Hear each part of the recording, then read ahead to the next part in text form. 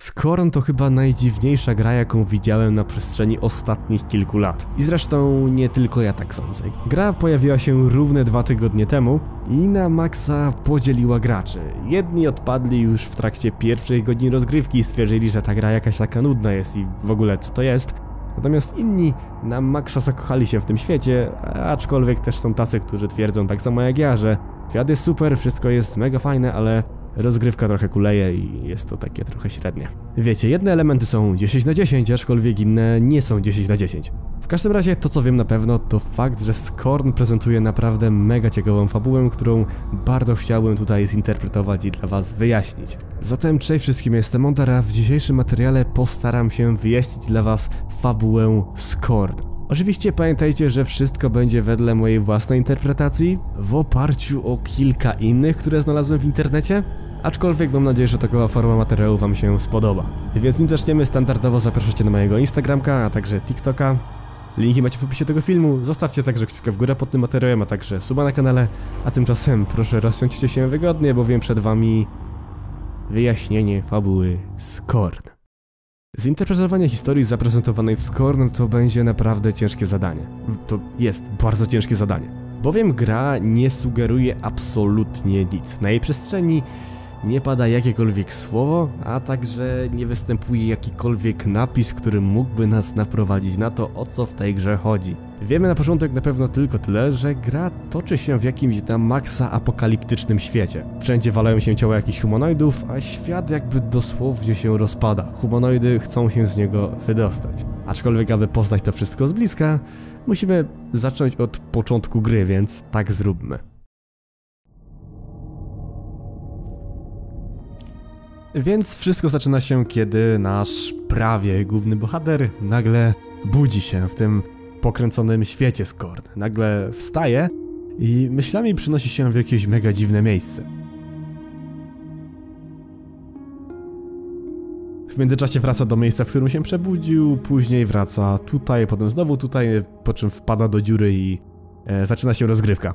Ha, widzicie? Zasadniczo on chyba najpierw chciał dostać się do tej wieży, tylko że wpadł e, do tej dziury, gdzie e, stracił przytomność i nagle się przebudził i oto jesteśmy w jakimś e, kosmicznym bunkrze czy coś. Tam niedługo później ziomek rozwiązuje jakąś zagadkę logiczną, która daje mu jakąś inną formę życia, którą później, o, o Jezu, jaka ta gra jest brutalna. A, tak jest, po tym poznanym chwilę wcześniej biedaku pozostaje tylko ręka, której nasz ziomuś e, bez jakiejkolwiek skruchy używa, żeby otworzyć sobie drzwi do zupełnie innej lokacji, która cała jest wypełniona jakimiś trupami, ciałami, mrokiem. O co w tej grze chodzi? Po co tak? W tamtym miejscu ziomek odnajduje spluwę, która jest jakoś dziwnie pokrwawiona w środku, w niej też leje się jakimiś flakami i tak dalej. Poza tym jest ona podłączona pępowiną do miejsca, z której ją wyjmujemy.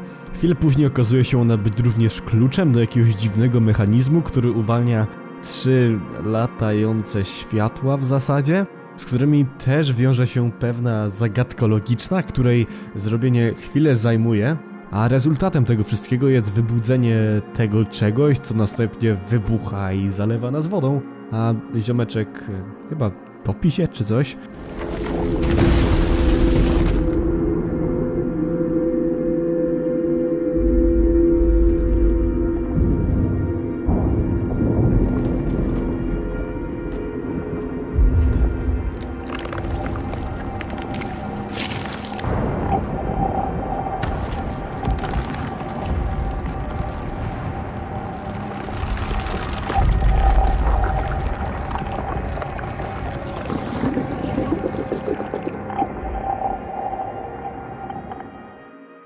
Następnie akcja gry przenosi się do zupełnie innej postaci, która budzi się w jakimś nie wiadomo jakim miejscu. Ona również jest w cudzysłowie połączona pępowiną, którą następnie z siebie wyrywa, po czym sama wyrusza na swoistą przygodę. Ta postać budzi się pośród wielu trupów na jakimś kompletnym pustkowiu. Wokół niej walają się szkielety, jak nie mam innych postaci, które tego wybudzenia się i odpięcia pępowiny nie przeżyły. Poza tym ziomek urodził się z jakiegoś jaja i to jest y, chyba całkiem ważne. A następnie postać y, wyrusza, by chodzić dalej. Tym razem po naprawdę pięknej scenerii, która wydaje się być dosłownie wyrwana z obrazów Beksińskiego czy coś. No wow, super to wygląda. Dużo lepiej niż tamte generyczne, ale i tak całkiem git korytarze. W każdym wypadku nasz nowy protagonista wyrusza do tej samej wieży, do której zmierzał poprzedni, którego tymczasowo z nami nie ma. Ponadto patrząc na różne ciała porozrzucane tu i tam po tej okolicy, zdaje się, że te wszystkie humanoidy, które powykluwały się z tamtych jaj, właśnie dążą do tej wieży. Tak samo jak nasz poprzedni protagonista, któremu jednak się tu nie udało. Tak samo jak i całej reszcie. Dlaczego? O tym trochę później. W końcu udaje mu się dostać do wieży, która z bliska wydaje się być jeszcze bardziej imponująca niżeli z daleka. Bardzo imponująca budowla o bardzo charakterystycznej architekturze. Tam bohater chwilę błądzi, rozwiązuje pewne zagadki i poznaje pewnego kolegę po fachu, który chwilę później go atakuje. Jest to przedziwna, zmutowana, jaszczurkowata postać, która łączy się z nim jak jakiś pasożyt i, co bardzo ważne, również jest połączona jakąś pępowiną z bronią, którą dzierżył protagonista prologu. Wobec tego wychodzi na to, że ziomek, który właśnie nas zaatakował jest bohaterem, którym graliśmy jeszcze na początku gry. Jakiś czas później od swojej prawdopodobnej śmierci zamienił się w coś takiego. Mi tak się wydaje, a poza tym bardzo wiele głosów w internecie właśnie mówi w ten sposób, więc powiedzmy, że tak właśnie raczej jest. Tak więc bohater ze swoim nowo poznanym pasożytem wykonuje pewną zagadkę logiczną w międzyczasie odczuwając skutki posiadania tego pasożyta, o ile tak się to mówi. Po zakończeniu zagadki z pobliskiego jaja wykluwa się kolejna humanoidalna postać, która jednak narodziła się przedwcześnie, w wyniku czego umiera. Następnie bohater przechodzi do miejsca, które odwiedził już nasz poprzedni protagonista, jednakże raczej minęło bardzo wiele czasu, w wyniku czego miejsce to jest w kompletnej ruinie. Następnie bohater przychodzi do kolejnej lokacji, która znowu jest generycznym korytarzem w zasadzie, Aczkolwiek od pozostałych ten etap wyróżnia fakt, że wreszcie pojawiają się jacyś wrogowie i bohater zaczyna do nich strzelać. Aczkolwiek tak czy siak nie ma tego tu zbyt dużo, a poza tym jest tutaj parę scen, gdzie pasożyt rozrywa ciało bohatera coraz bardziej. Następnie ponownie ziomek przechodzi do kolejnej lokacji, tym razem która znajduje się chyba na najniższym szczeblu całego świata Skorny i tą lokację charakteryzuje fakt, że jest tutaj Taka wielka kreatura, którą musimy otworzyć w trzech miejscach. Następnie, kiedy w końcu bohater ma to wszystko ze sobą, wchodzi do lokomotywy. No, w międzyczasie okazuje się, że pasożyt na maksa się rozhulał. Jest on coraz groźniejszy dla bohatera, ponieważ e, w jego wyniku po całym jego ciele wyrastać zaczęły jakieś dziwne korzenie, aczkolwiek to tak jakby nic jeszcze. Ponieważ z pomocą kolei bohater dojeżdża do zupełnie innej lokacji, która także fajnie wyróżnia się od pozostałych niefajnych korytarzy. Szczerze, ta gra ma trochę problemu Duma 3, tak szczerze. W sensie, są tutaj naprawdę fajne lokacje, ale większość z nich to są po prostu te korytarze. Chociaż są naprawdę bardzo fajnie zrobione, no to po dłuższym czasie spędzonym w nich zaczynają na maksa nużyć. Aczkolwiek są tutaj takie perełki jak ten świat, czy chociażby jak ta, jak to pustkowie wcześniej. Jednakże wracając, bohater dociera do świątyni. Świątynia zdaje się wzywać go ku sobie. Tak samo jak z całą pewnością wzywa ku sobie całą resztę tych humanoidalnych postaci, których szczątki widzieliśmy już dużo wcześniej. Po co? Jeszcze nie mogę wam powiedzieć, musicie obejrzeć do końca. Świątynia to bardzo ciekawe miejsce. Jest tutaj bardzo wiele posągów, czy też statu, murali, które prezentują zazwyczaj kobiety w różnych stadiach ciąży, a czasami nawet sam poród. Murale zdają się przekazywać symboliczne wiadomości odnośnie życia i śmierci, a w zasadzie wszystko to skupia się głównie na narodzinach i na etapie ciąży. I tutaj zaczyna się na maksa poryta rzecz, ponieważ chwilę później natrafiamy na dosłownie płody w słoikach. Um, o ile będzie to dobre określenie, tak e, skojarzenia z Death Stranding nasuwają się same, ale tam E, płód w słoiku był trochę ładniejszy. Następnie musimy przenieść owe słoiki do robotów, które e, mają e, strzec te płody, po czym musimy zabić roboty, by zebrać płody, a potem te płody zgnieść, by wycisnąć z nich czerwony sok. wiecie o co chodzi? A następnie przenieść ten czerwony sok do maszyny, która podtrzymuje chyba przy życiu albo jakoś kontroluje dwójkę e, ciężarnych ludzi, a dokładniej kobiety i mężczyznę. Aby rosnąć na nich zaczęły jakieś e, dziwne rzeczy. Tak więc, co tu się w ogóle wyczynia? Ogólnie po internecie lata takie przekonanie, że e, w tym świecie, za jakiś czas trochę to rozwinę, w każdym razie tutejsza rasa sprawiła, że przedstawiciele tejże rasy mogłyby rozwijać się poza łonem matki, e, chociażby właśnie w mężczyznach albo w robotach, które miały e, tych płodów chronić. No jest to ciężki temat bardzo. W każdym razie z polskiego na ludzki istnieje taka teoria, że w świecie Skorn e, w wyniku tej całej apokalipsy, która na bank miała miejsce, w wyniku której świat wygląda w ten sposób, wszystkie kobiety na świecie wyginęły w wyniku czego pozostali przy życiu mężczyźni, żeby jakoś e, przedłużyć gatunek, żeby w ciele mężczyzny mogła rozwijać się przyszła forma życia. Wiem, jest to mega dziwne, ale słuchajcie, to jest Skorn. Ta gra sama w sobie jest bardzo dziwna.